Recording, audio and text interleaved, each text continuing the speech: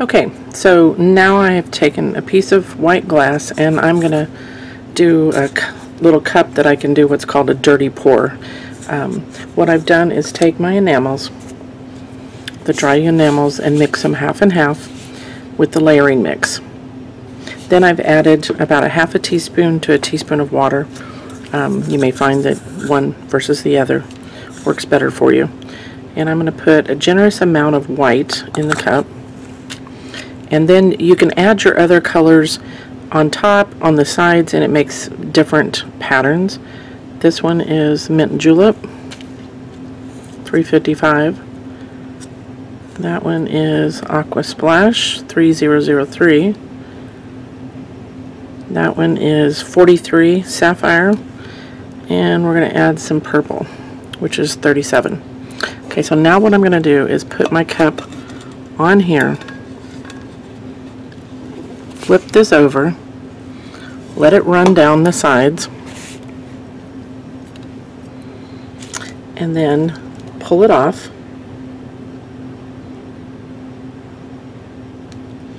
I'll let some of that run out so we don't waste. Okay. And then start moving it around. I can add more color back on top of this if I want. This just kind of blends all those colors together. So it kind of depends on if you want a definite pattern or if you want it more subtle. Trying to pop those bubbles there.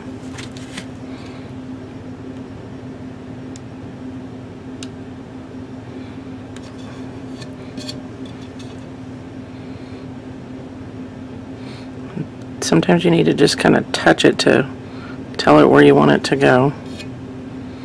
And I just try to, I'm just tapping it so that I can make it go in those areas where it did not so that I don't lose a bunch off the edge.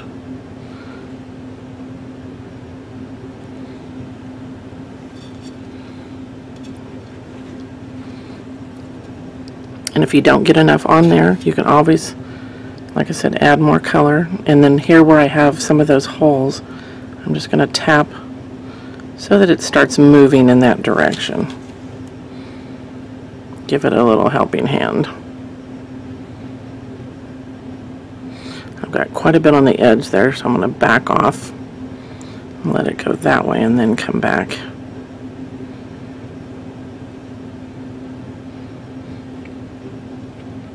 And I just raised, I had two jars that I'd done some mixes in and just raised it off of my table. Um, it's easier to control, I think, when it's up in the air. Kind of see what's going on. So you can kind of see those colors. It's very soft, blended. It's almost like you've done a two color blend with a, a brush. There again, just giving it a little helping hand there.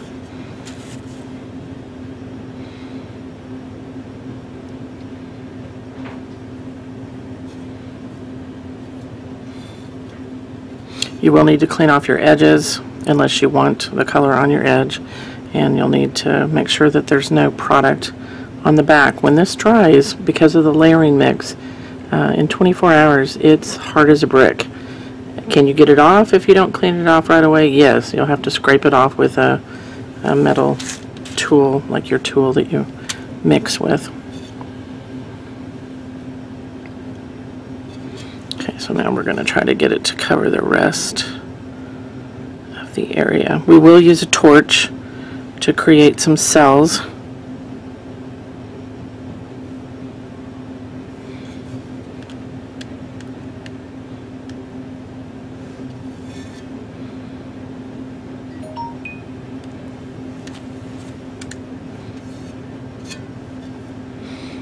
This other direction.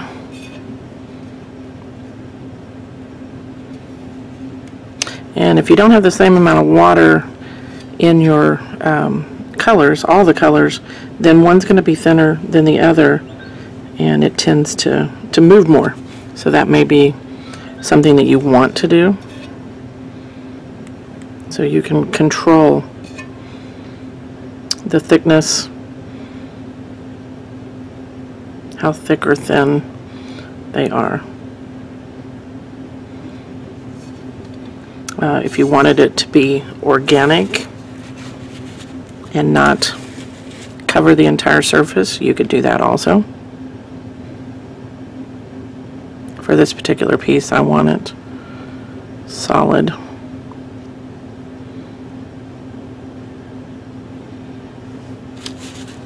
Now, I'm going to kind of just remove anything I feel on the back side there. And then, you know, you can just kind of tap it. That'll bring the bubbles to the surface. Just make sure you've got it all covered before you're ready to uh, start your torch. I've got a little bit of color left here in the container, so I'm going to add that and kind of move it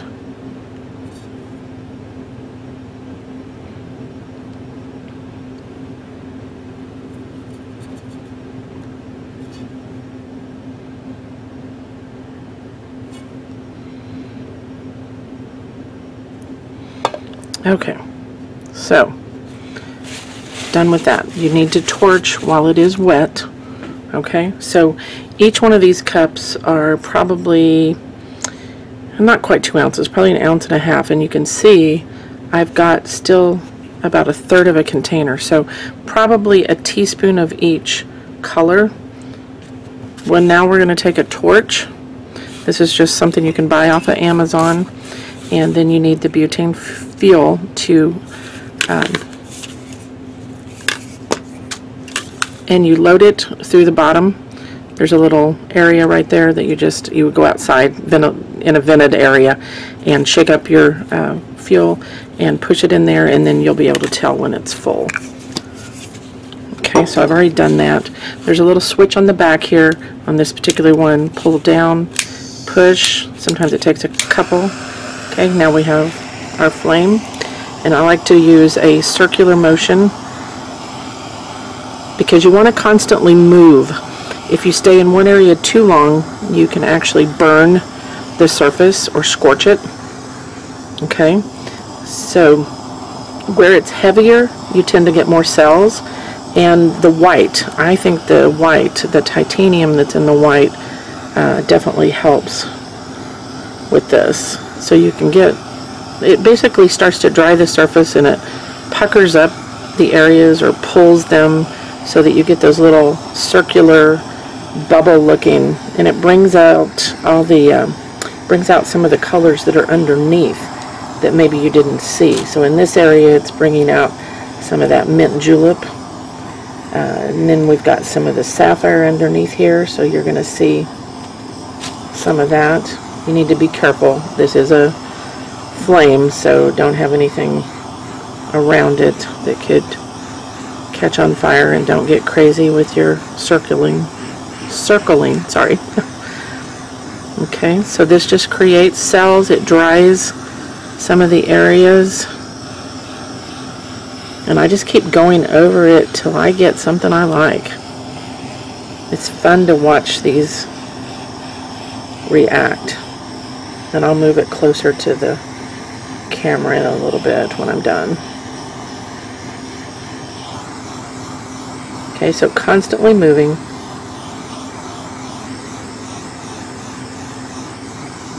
starts to dry that area. The glass can actually get warm, so that's one another reason that I elevate it up above the tabletop. I've got parchment paper underneath me so that it's easy to clean up or if I want to use some of the drips that drip on the parchment to maybe fill in an area or do my edge with. Makes it nice because it stays damp. If you had a paper towel, it's going to absorb into that. So that's one of my reasons. And you can see I'm on white glass, so some of the areas that are thinner, I'm getting some white, which I like that. So just keep working. Like I said, just keep moving. You don't want to stay in one area too long.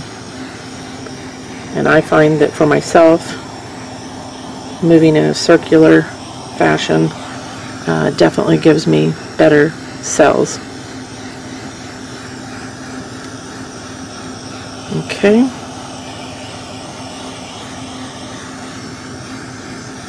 Alright, so I'll finish this and then uh, I'll show you what it looks like when it's dry.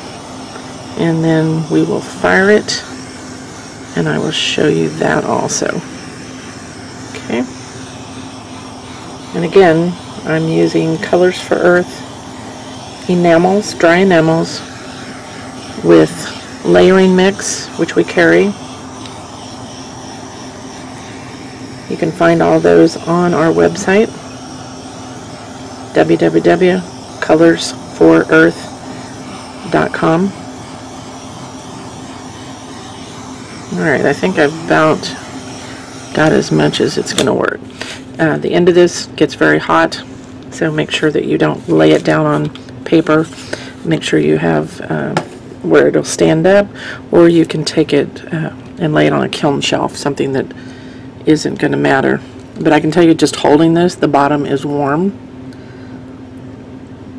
See all the different cells? The little white ones are the white background glass.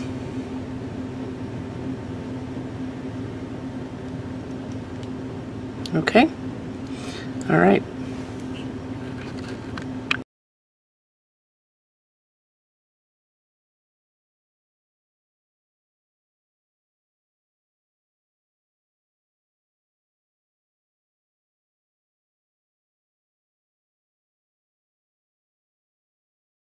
Okay, so what I did was I had screened with 355 mint julep and you can barely see any of that showing up on this dark. I thought it was going to show up much darker. So I had accented with copper. So now what I'm going to do is just come back and silk screen with copper. This time I've used our copper sparkle mixed with our glass medium.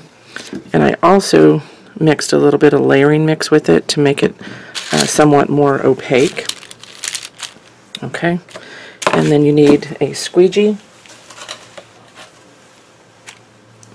And what I've done is just mix it in here. I've got it to, it's kind of like a runny honey, honey, but slightly thinned. You don't want it so thin it's going to weep underneath your screen. And because this is a large screen, uh, this is a 12 inch circle that I have. I'm going to put the color here in the middle and then I'm going to use the squeegee and go out from there. And the squeegee has two different sides. It has a slanted side and just the flat. You want to use the slanted side and I'm going to push the product from the center out. Okay, so here we go. And you want to push hard enough that you can see uh, your screen image. And remember you've got product on the back of your squeegee.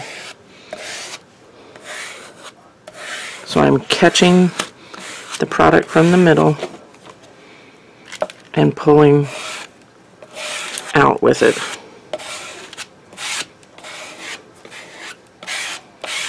And I know it's hard for you to see some of this because I've got to hold on to it.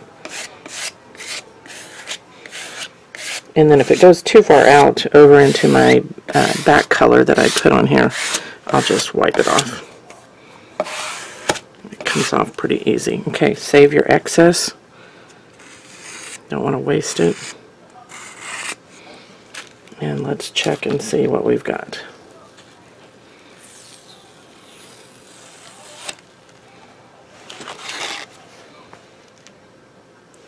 Looks pretty good. Then I'll go back and I'll fill in those uh, areas where it didn't quite touch because the glass did kind of pull in or shrink just a little bit. So I'll go back and touch that up whenever it's dry.